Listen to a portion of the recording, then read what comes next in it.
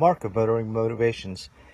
We're here to talk about uh, Christi's accessories that we're putting in installing. So this portion of it is uh, the USB cables that charge your phone, your smartphone, either uh, an iPhone or one from Samsung or the various other companies. So we we wanted to do a, a thing talking about it. Uh, so these are very unique cords.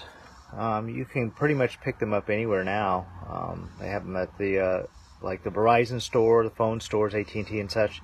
Uh, or you can go into TJ Maxx or uh, uh, Marshalls. They have them uh, pretty plentiful. Or you can go on the internet and basically find the color and style. Since she likes the red and black theme, we went ahead with this one. And there's a second one that's plugged into the uh, the factory USB portion that runs here.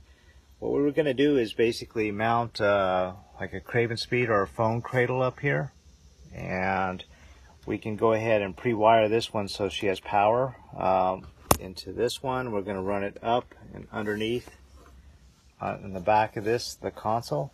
Come up, come right out, uh, run the wire all the way under this panel.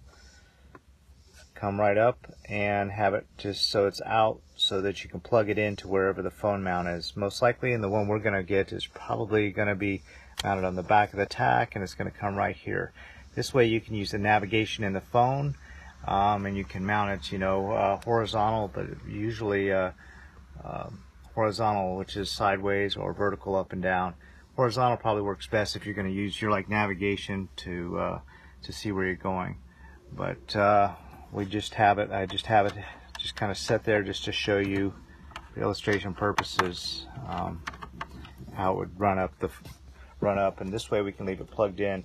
If you needed to uh, put something else in you can unplug it or you can unplug one of the others. But the other way is plug it in either way she can uh, use it for her phone and put it in the center console or sit it on the dash or on the seat and still have it plugged in or you could uh, put it in a cradle up here and just plug it in as soon as you set the phone in that way you've got your navigation uh, your cell phone and you'll have your uh, in this case she would do Bluetooth her uh, internet radio into her uh, her auxiliary system here with this other uh, piece that we installed, the Bluetooth piece that integrates with the radio.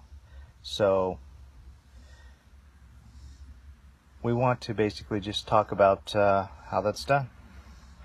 Um, that's just another accessory that we have in Christi's Enchantress, the uh, 2012 Mini Cooper uh, John Cooper Works Coupe.